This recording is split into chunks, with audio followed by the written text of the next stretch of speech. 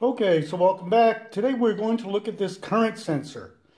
And this is a high current sensor that will take as an input from 0 up to 30 amps, and it can be AC or DC, and it will give you a low voltage, 0 to 5 volts output proportional to the amps.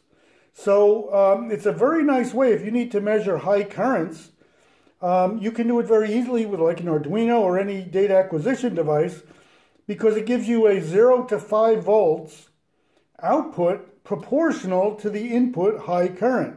So wonderful little device and we've used it in previous videos. Um, now this is a little bit different from another current sensor we looked at in a recent video. So here is the device we're going to look at and I want to make a distinction between this type of current sensor and the current sensor we looked in a previous video.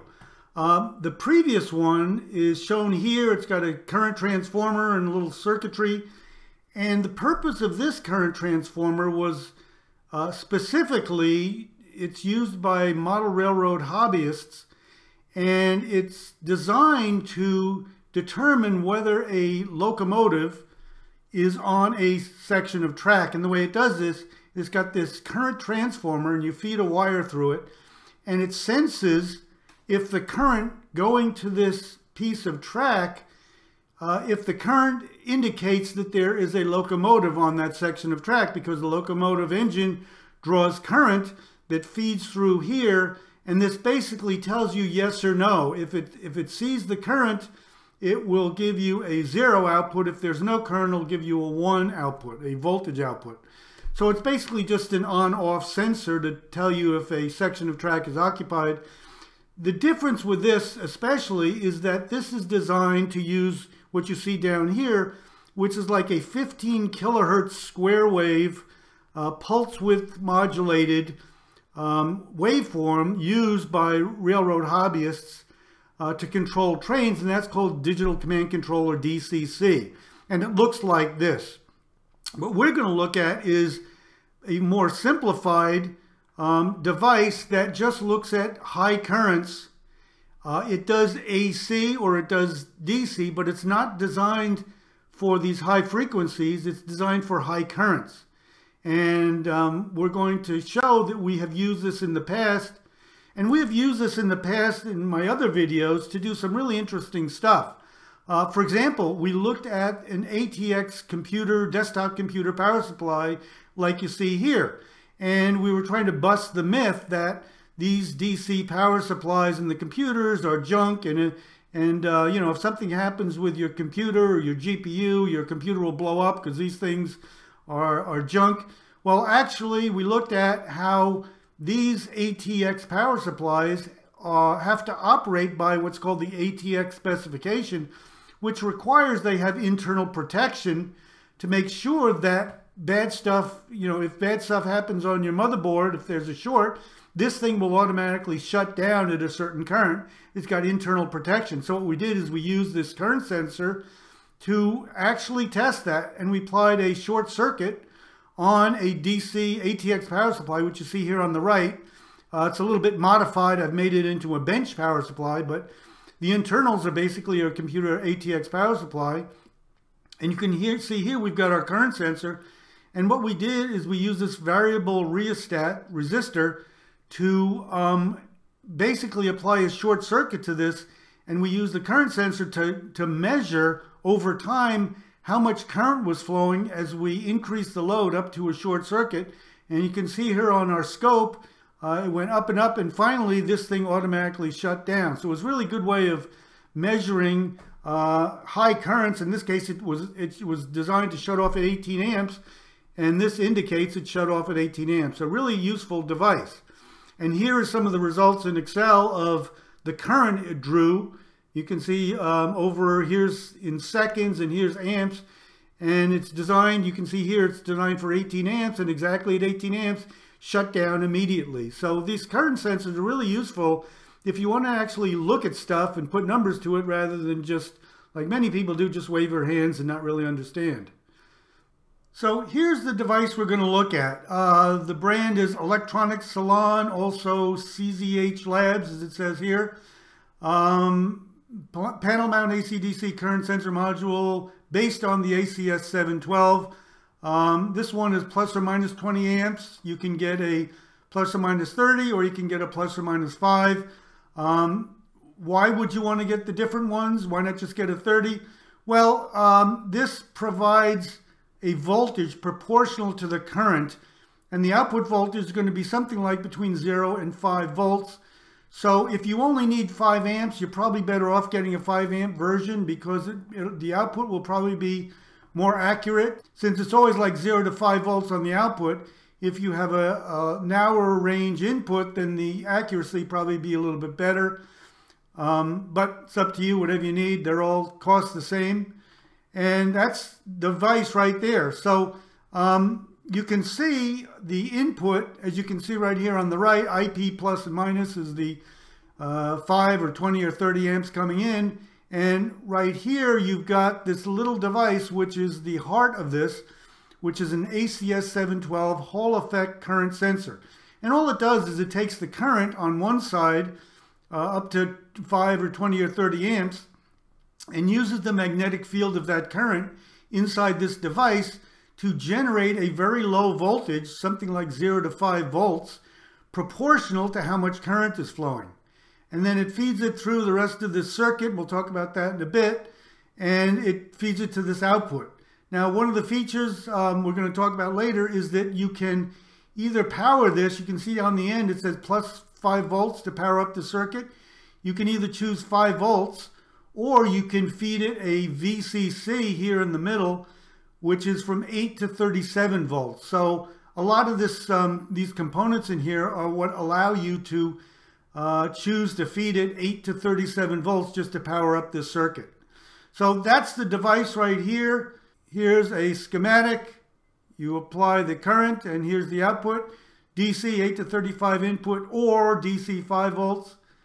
And here's a um, circuit we'll, with diagram we're going to look at in a bit and some dimensions, and that's about it.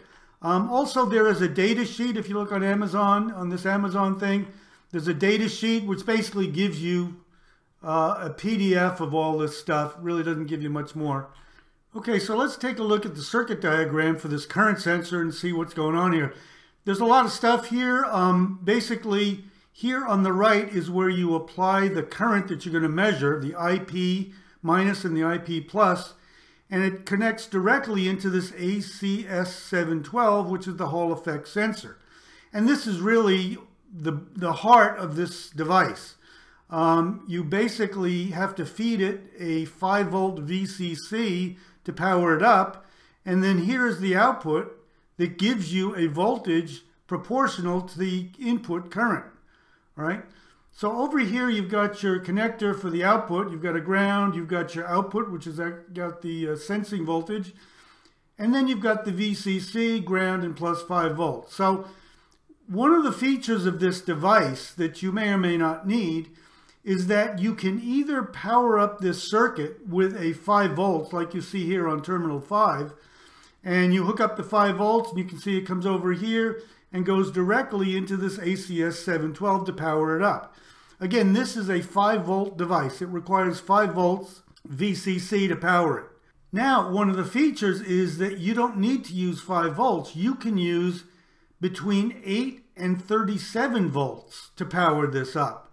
And that's what you can put into this, term this terminal 3 in the VCC. You can supply it with 8 to 37 volts instead of this fixed 5 volts and it will provide 5 volts to this ACS 712. So how does it do that?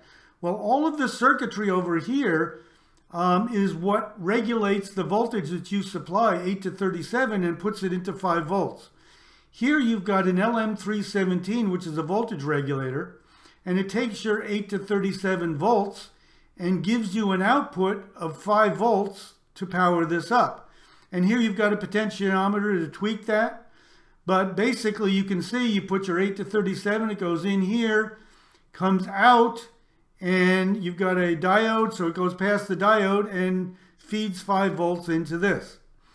So either way, no matter whether you power it by 5 volts or 8 to 37 through the voltage regulator, uh, here's where the 5 volts comes to the ACS 712, and you've got the LED that, that turns on when you power it up and you've got a couple capacitors to um, filter. But basically, all of the stuff over here on the left is not needed if all you're doing is powering it with 5 volts. So it's a very simple circuit. It, it's basically just this ACS 712. You put current into it, it gives you the voltage out, and you've got to supply 5 volts. So let's briefly take a look at this ACS 712. It's an Allegro Microsystems Hall effect-based linear current sensor IC with 2.1 kV RMS isolation. And um, if you scroll down, you can see it takes 5 volts, single supply operation. And the description here, um, basically you apply 5 volts and take the current in, and that's about it. Um, the device has, if you look here, thickness of the copper conductor allows survival of the device at up to five times over current conditions.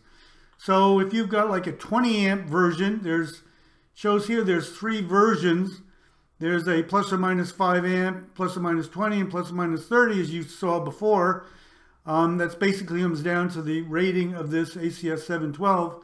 But it can withstand up to five times overcurrent conditions for a short period of time. Uh, it also has a fuse, I believe, in here Somewhere it says it's got a fuse in here. Um, so you should be good to go. Um, absolute maximum supply voltage, 8 volts. So common operating characteristics, supply voltage between 4.5 and 5.5. Supply current, um, that's how much the VCC takes, only 10 milliamps. And basically that's it. Uh, again, this the rating of this um, current sensor is basically dependent on this um, ACS 712. Okay, so here we are on the bench, and we've got our current sensor right here, and I've got it hooked up to some devices.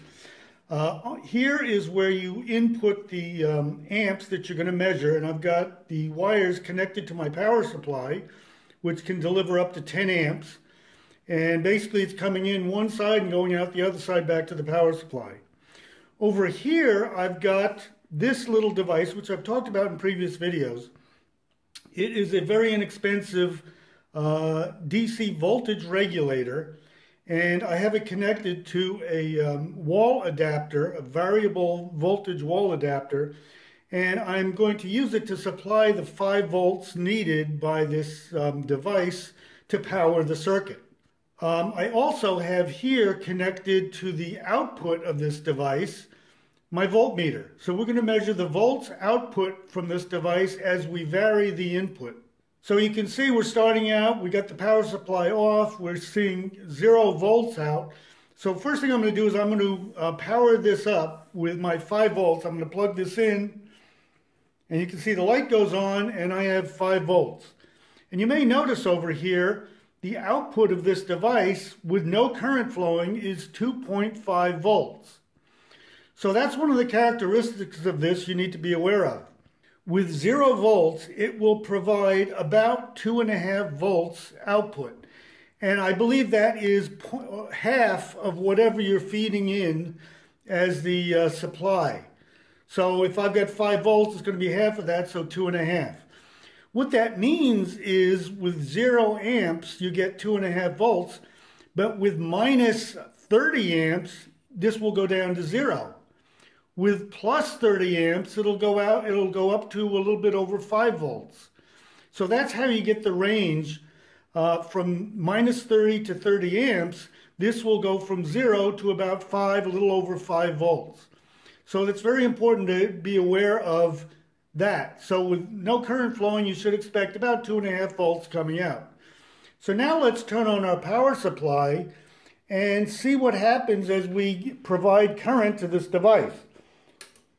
So I'm turning on, turning on the power supply and I'm going to crank it up to 1 amp. And right there I've got 1 amp coming out of the power supply.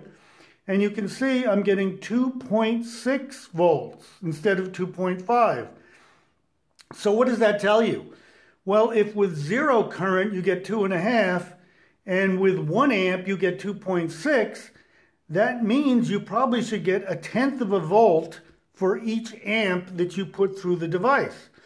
So now I'm going to crank it up to 2 amps instead of 1 amp and see if this goes up to 2.7. So I'm at 1.5, 1.8, and just a little over 2, and there's right at 2, and here we are at 2.7. So now, like we said, um, this allows you to uh, power the circuit with 8 to 37 volts if you want to. If you don't need that, there are other devices out there that are less expensive um, that only um, require plus 5 volts. If you're fine with that, then you can look for other devices. Um, also, one of the nice features of this is the output voltage range is 0 to 5 volts. So if you have a data acquisition device like an Arduino that um, does not accept negative voltages, only wants 0 to 5 volts or whatever, um, this is a nice feature of this. So if you're gonna if you're gonna use a data acquisition device, make sure that the output of that uh, current sensor doesn't go outside the range of the input of your Arduino or whatever. Um, otherwise, that's about it for this. If you like any of these videos, hit the like button, subscribe, hit the bell notifications, and most of all, please let others know that we're here so we get some views. Really appreciate it. Otherwise, take care. Have a really good day. Thanks.